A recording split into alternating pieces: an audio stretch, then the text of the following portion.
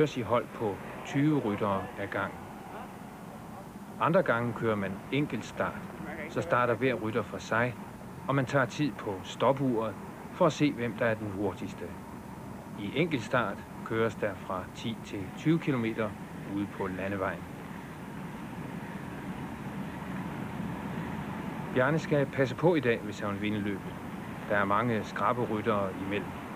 En af dem hedder Henrik Hansen. Han er fra Skanderborg, og ham hører vi mere til senere.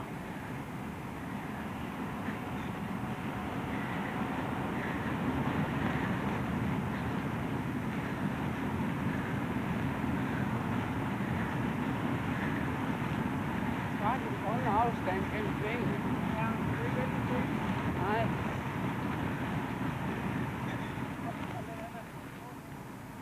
Ruten i dag er spærret af for biler, for at der ikke skal ske sammenstød. De ældste drenge, det er dem, der er født i 1964 og 65. De skal køre i alt 16 km. Der er også en klasse, der hedder mellemste, og en, der hedder yngste.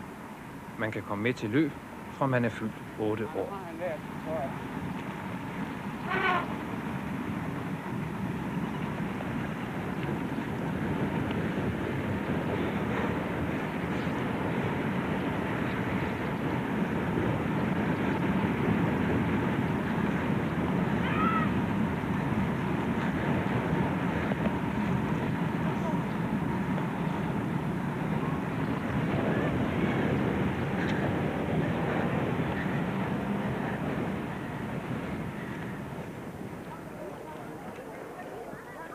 Det er lidt forskelligt, hvad det koster. For det første er der medlemskontingentet.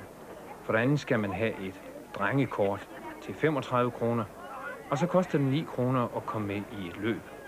Pengene går blandt andet til at købe præmier for. Og der var det tre omgange.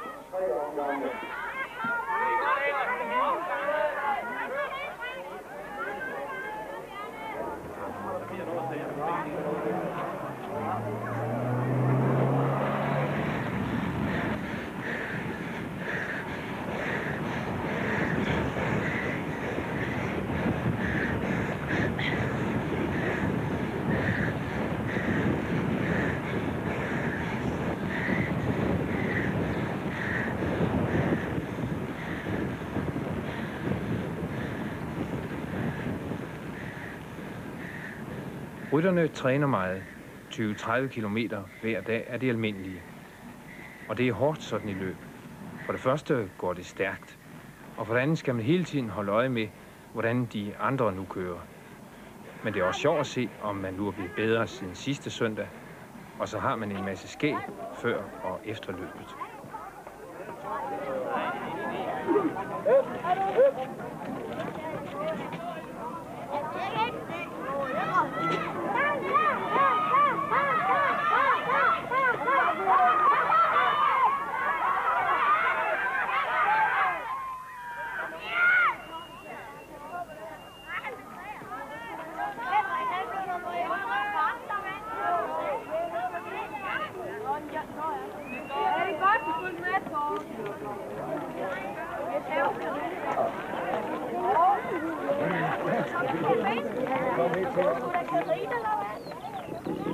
Ja, nu løbet så kørt, og vi venter på præmieoverrækkelsen. Og mens vi gør det, kunne vi jo kigge lidt på det udstyr, som en cykelrytter har. Både den påklædning, han har, og selvfølgelig også lidt på cyklen.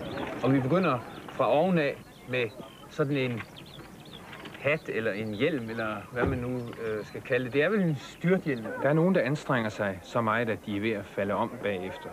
Men det er sjældent så alvorligt. Alligevel ville vi nu godt snakke med en af de voksne ledere. Han hedder Robert Larsen og er fra Odense. Er der et